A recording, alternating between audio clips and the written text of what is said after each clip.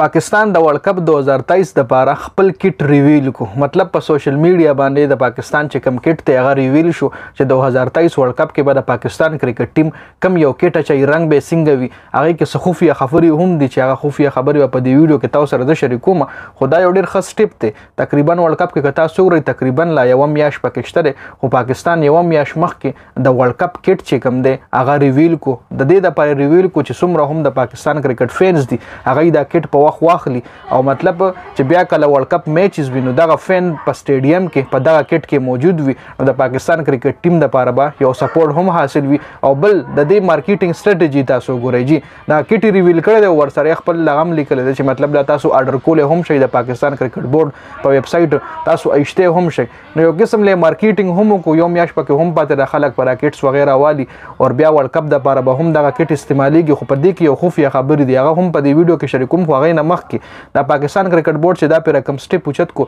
دا سټپس په مخ کې چې کم استرالیا ټیم زو انګلند ټیم زوی به د ورلد کپ نه مخ کې یو میاش مخ کې دوه میاشتې مخ کې خپل کټ ریویل کو خپل جرسی به ریویل کا خلکو به هم وایشتره خلکو به خوخه هم شو خلکو خلکو به کې خبرې هم وکړي مطلب دا نو په کار داسې دیږي کې داسې کلر په کار یا داسې یا داسې دار چې خپل پوینټ اف ویو نو دا په سکرین چې تاسو لکم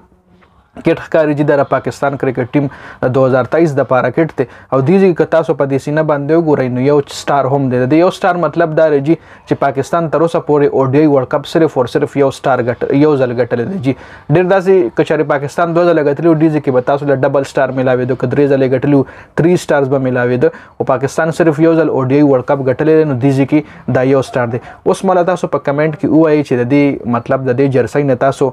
سټیسفاید یې تاسو خوښه شو کنه دې کې کم ځای کې د تاسو په خیال باندې لکه مونږ خو صرف کمنټ دغه کو کنه کمنټ کول شي نور خو زمونږ پوینټ اف ویو کې پاکستان کرکټ بورډ لنه رسی خو بیا هم د تاسو په خوخه دې کې کم ځای کې امپروومنت کول پکار دي کم کلر پکې ورچول پکار دي ما خیال یو ډېر خپل کلر د تاسو ګوري په خېټه مخامخ چې کوم دی پاکستان لیکل شوی دی رائټ ساید لتا سو ګوري په رائټ ساید باندې ورلد کپ وتل دی او خطه ور سره لیکلی چې ورلد کپ 2023 انډیا به وسه لیکلی خامخا چې دا ورلد کپ په انډیا کې دی او په ګس سیټ که تاسو ګورئ نو یو سټار وتلی او سټار د پاسه د پاکستان نه نه د سټار خبره تاسو لاله ډی مو کچره سټار مطلب دار چې پاکستان یو ځل ورلد کپ ګټلې جی نور که تاسو د کټ کلر وګورئ یو ښکلی کټ دی ابل ایشیا کپ کې د پاکستان په دیزي باندې ټي سي ایل لیکلی او ټي سي ایل یو کمپني ده نو ټي سي ایل دیزي کې ډېر بدی لګېدو اوس دیزي کې یو ډېر غټې لیکلی او مخامخ په دې دیزي کې دا مطلب بالکل په فرانټ شو باندې ولا ټي سي ایل لیکلی نه ډېر زیات بدی ښکارېدو دیزي کې هیڅ قسم لوګو لا فلحال نشته دی چونکې په دغه باندې شته دی